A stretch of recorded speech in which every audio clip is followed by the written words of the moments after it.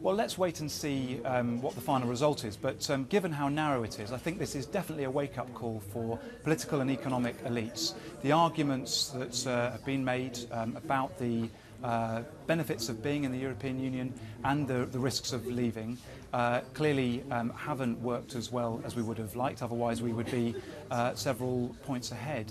But, uh, but I think um, we will find out in, uh, in uh, the days and weeks ahead if indeed we have voted to leave, um, whether those warnings were true or not. It's But funny though, it's isn't it, to talk of a, a, a wake-up call at this point. You know, you've already seen UKIP doing well from 20